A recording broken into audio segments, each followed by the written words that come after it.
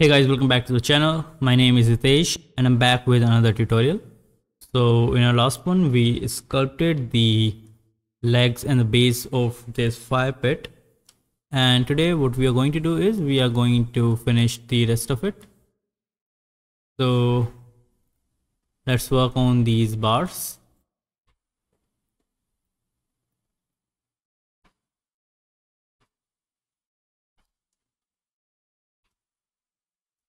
I'll select my trim dynamic brush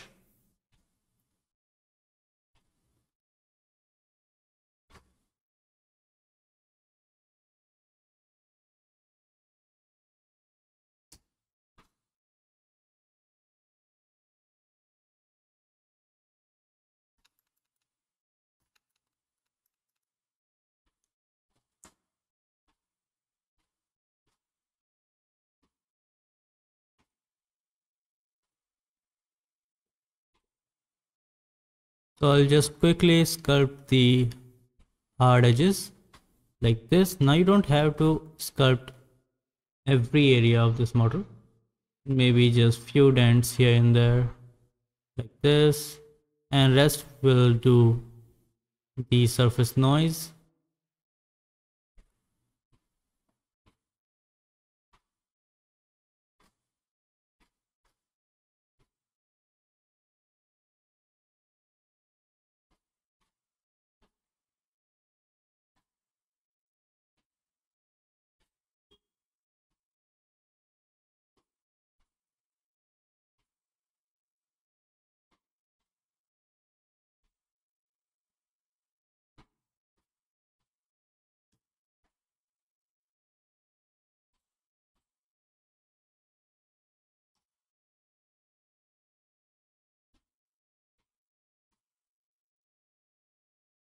or maybe some dents on the top like this.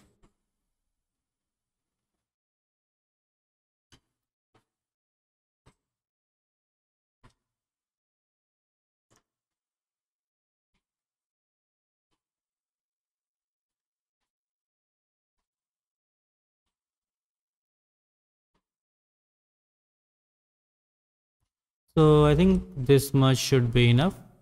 Now let's work on this one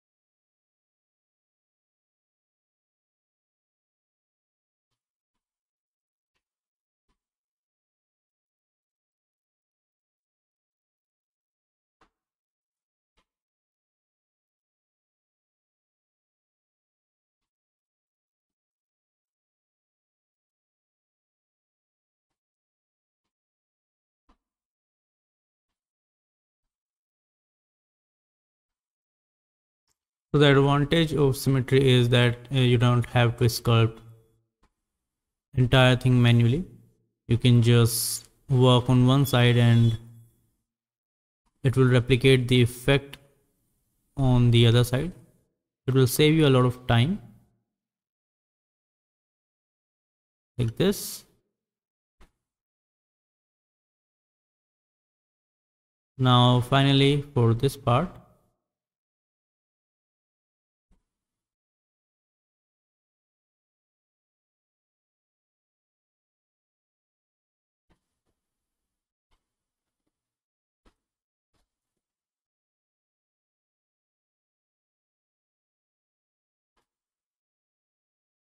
just smooth this area out to remove this mesh deformity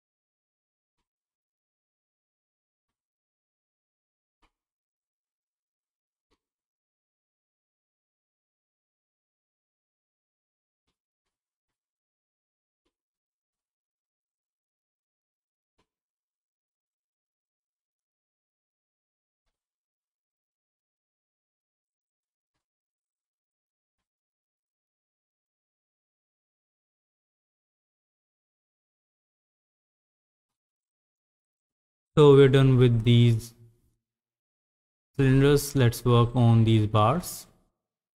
So now you can also add them in polygroups and work each one separately but I think I'll just sculpt them as it is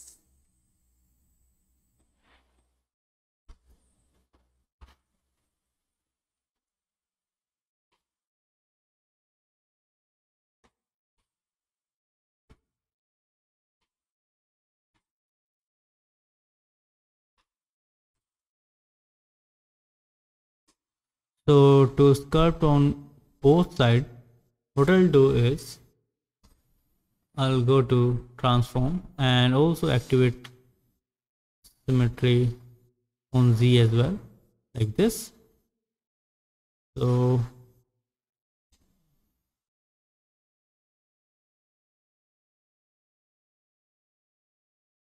as you can see the result here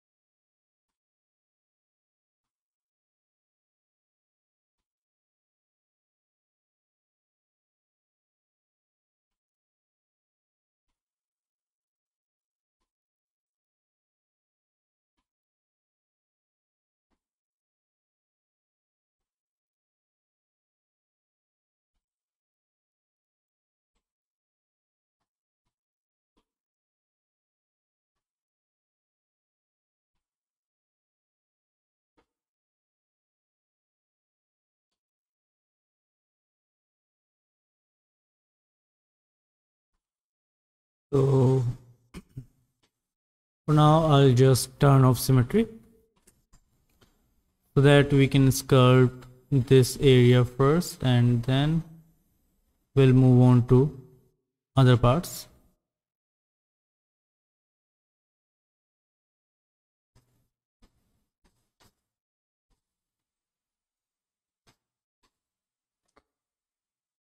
And now we can turn on symmetry like this.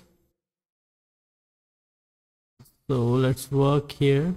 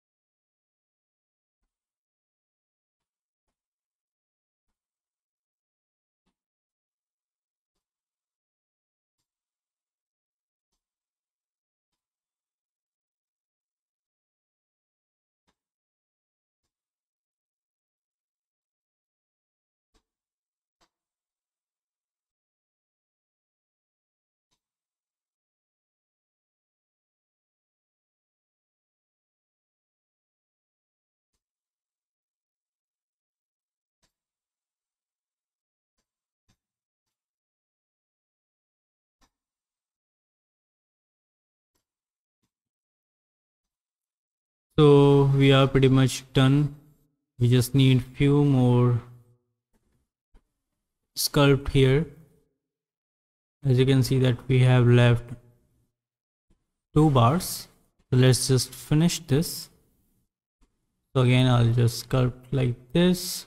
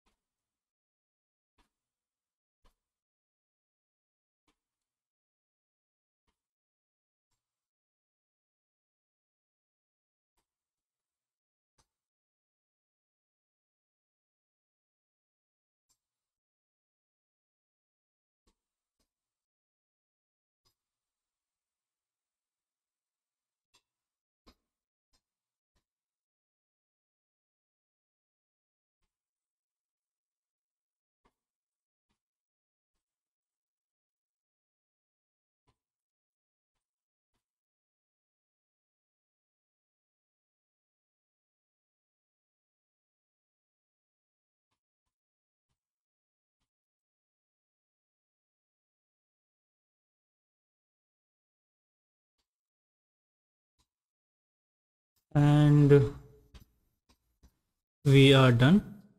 So our prop is sculpted. We have removed all the hard edges. Now we can add surface noise. So let's go to this surface go to noise.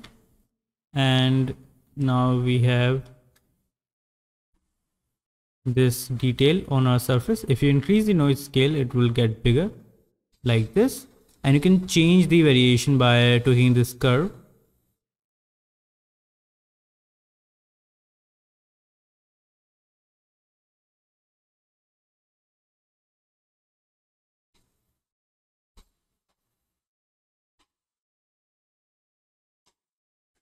So first I'll add this click ok then apply to mesh. And now we have a very subtle noise in our mesh like this. Now what we can do is we can go to our light box go to your brush and select this mallet. I'll choose this mallet first and now you can use this mallet to damage this a little bit more.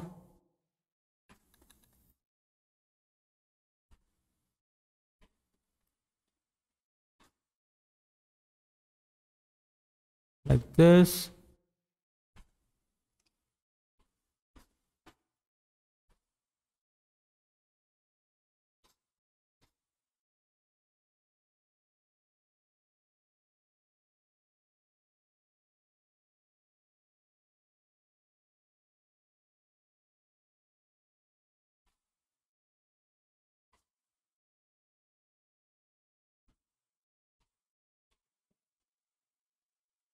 and maybe smooth it out a little bit.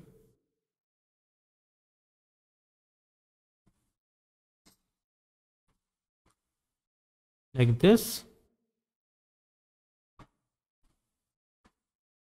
Now I'll just turn off symmetry altogether and maybe add a little bit of variation here like this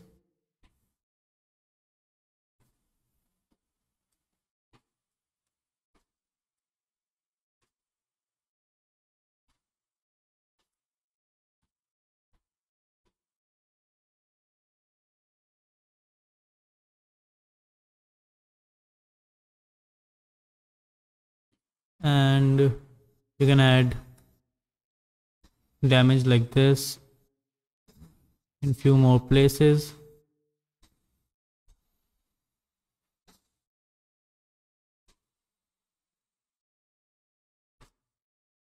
Like this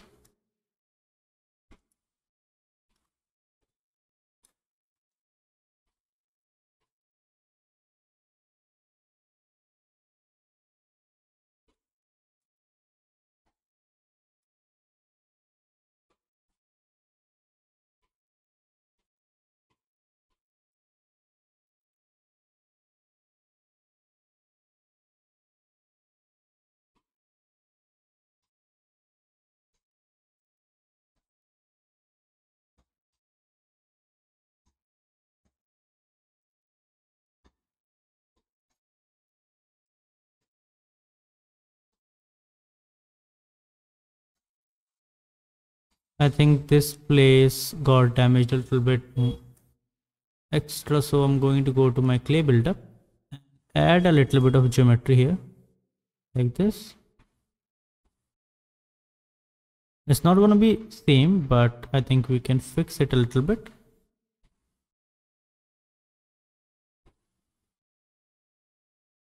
Like this. It will give a little bit of that molten metal welding type effect. And we can repeat the same process on this one I think. And then we can go back select our mallet and let's work here and see if it gives some nice result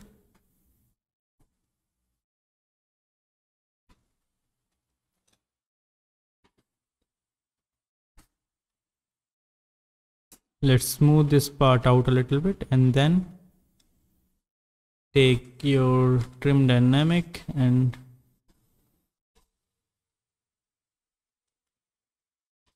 sculpt like this.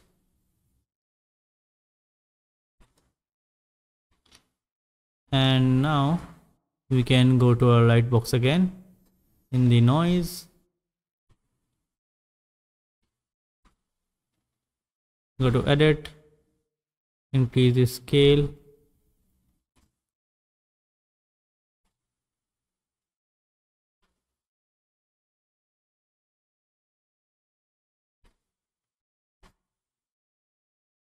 Like this. And okay apply to mesh. And now we are done